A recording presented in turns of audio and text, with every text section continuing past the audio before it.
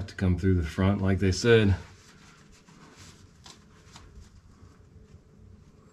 We might have to use the universal again.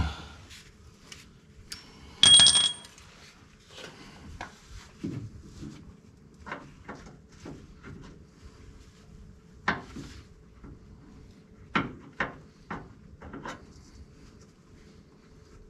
think we'll have to turn the steering wheel to move the U-joint. It's kind of in the way.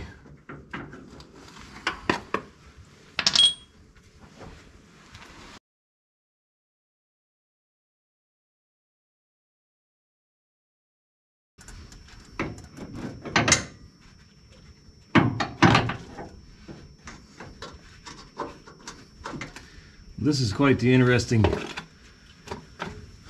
bolt to try and remove. And I've got my socket stuck on there.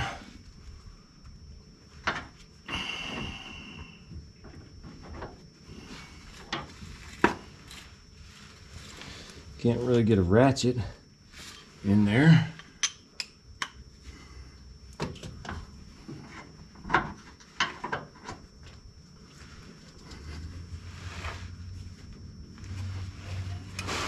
All right, so I'm on it. See if we can get loose.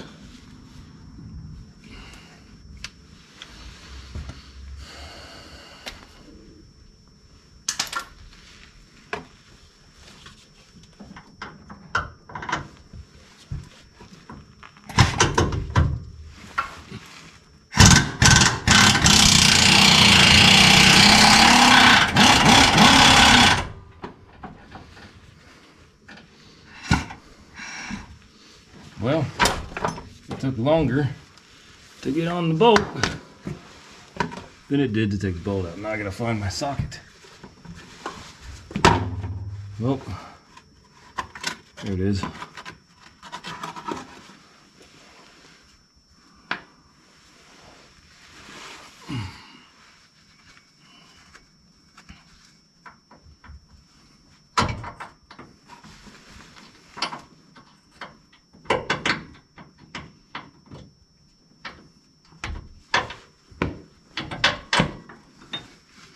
Okay, so we're supposed to remove that bolt. What is that? No idea where that piece came from. Oh.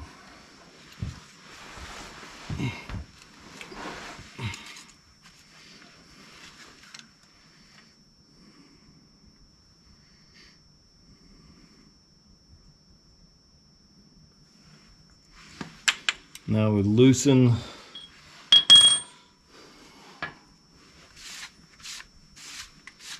a wrench. This one here on the back.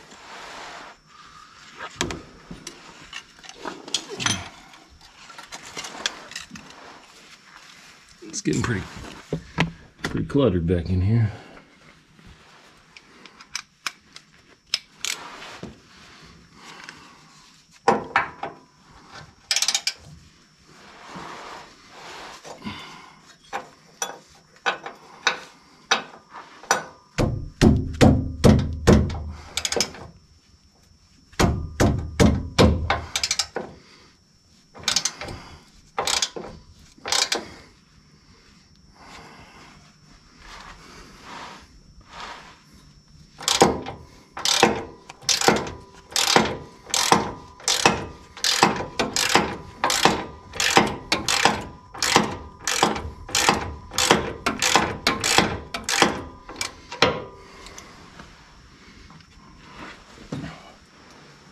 I'm gonna loosen this too. Right here, got the wrench on the other side. We're gonna try and loosen that up. And see and if we can get it loose. We may let this side droop. I don't know. I'm doing this by myself, so it's uh, not always the easiest. Especially when you start off going the wrong way.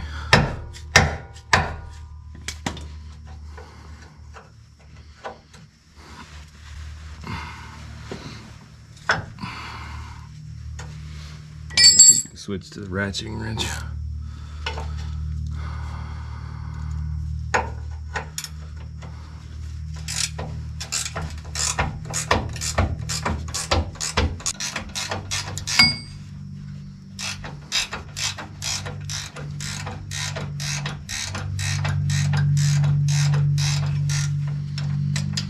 Okay, so that side is free. There's this nut on here. I wish my light would stay in the right direction. It kind of has this tab to help you. You don't need a wrench on it.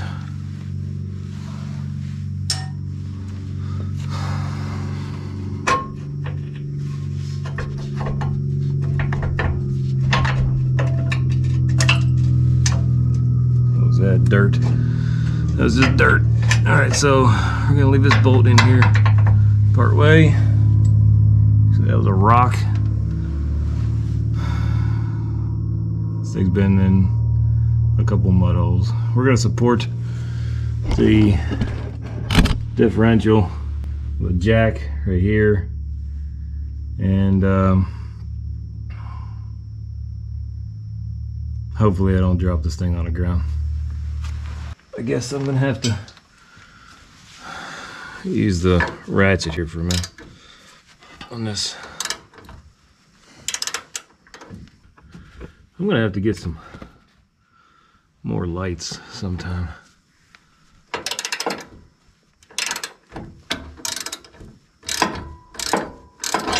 Whoops. All right, let's see if this air ratchet will take that out.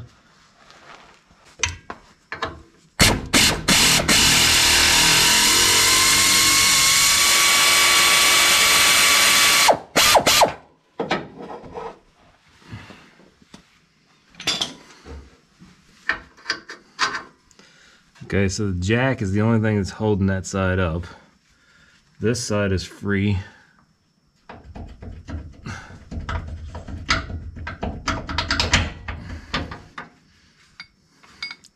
That should be it. Um,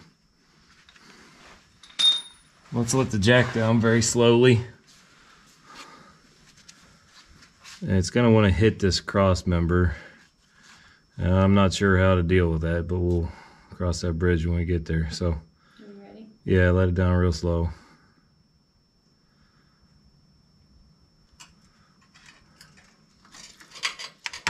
Easy. Okay. Hold up.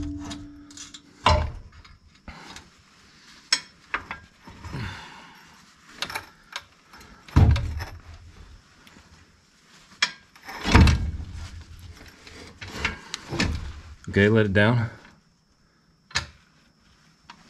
Easy, stop.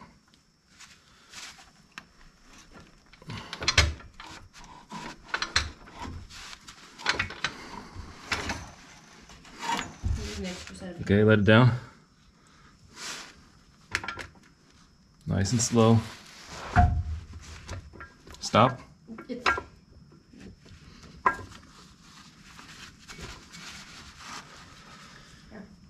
Hold on.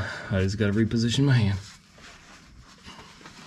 let me come help you so you can fall off from under. I got it. I got it. I got it. I got it. Hold. It's okay. I think we got it licked. All right. Let it down all the way.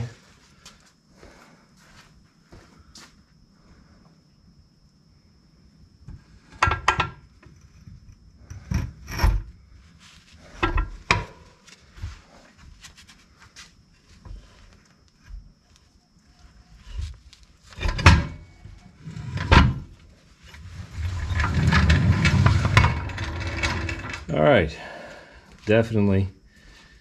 That's a two two person job. So, all right, so I pulled the front diff, and the bushings were garbage. Uh, you see how cracked they are, and I started just taking them out. forgot to set up the camera. So I've got one at the top, one from the side, and I still have the passenger side left to remove. So it's been coming out a lot easier than I anticipated. I'm gonna show you what I've been doing to do this. Take his air chisel, go around the edge of them, and kind of smash it in a little bit. And take a MAPP gas torch and heat up the area around the bushing.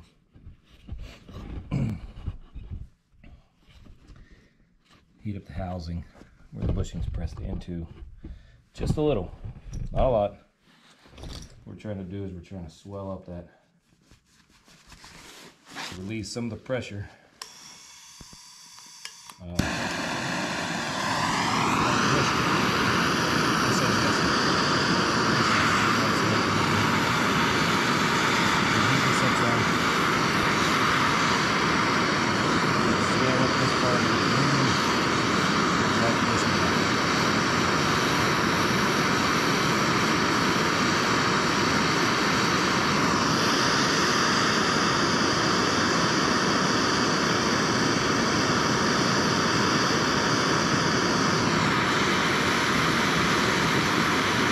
Not gonna take a lot.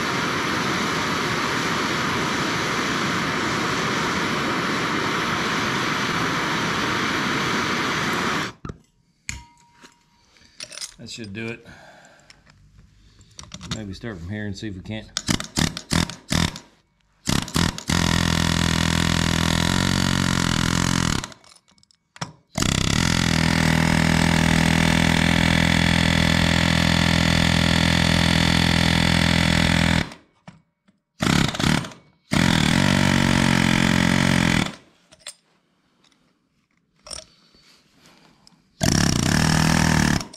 This will probably be the only one that doesn't come out easy.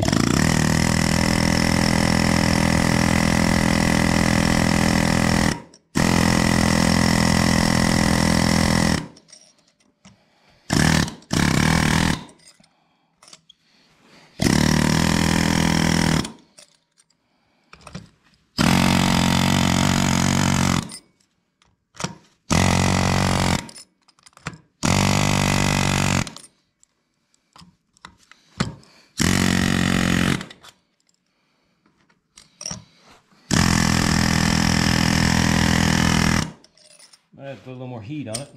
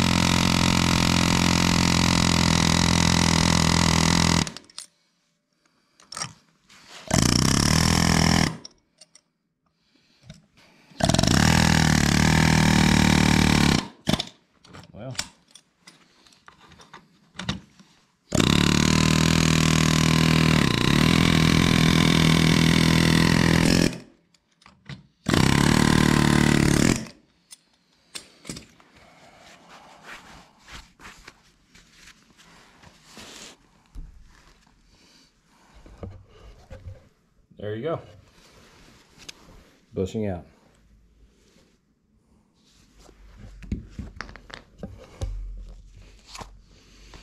So now we gotta clean these holes up a little bit with a wire wheel and order new bushings.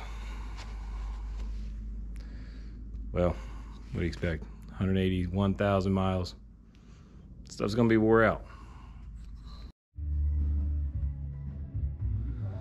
All right, so we've measured over inch and an eighth from this mounting hole. I'm gonna start making a cut here.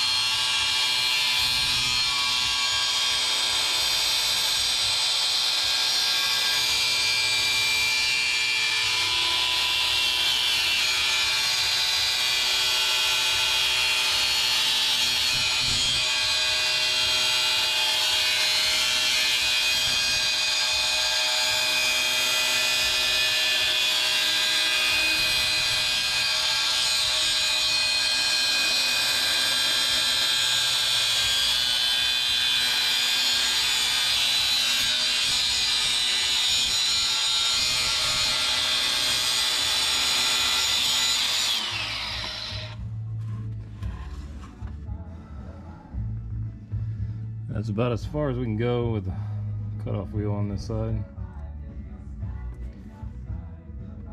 We might make a mark over, cut on the front with the cutoff wheel, and see if we can't finish it up with sawzall.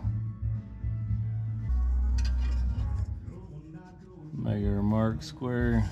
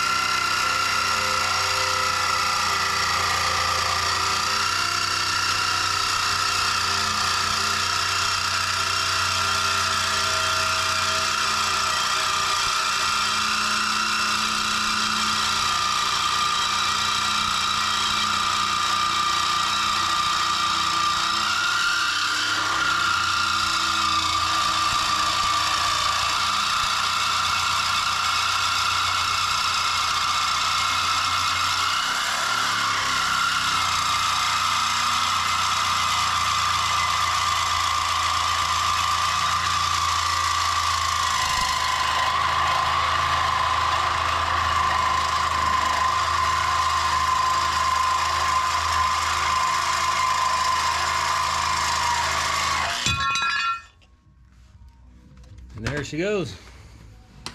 No turning back now. Just clean up the edges of the cut with a flat disc and got the brake components out and uh, put the brackets in the sandblaster. And uh, we'll those cleaned up, painted up. Next step.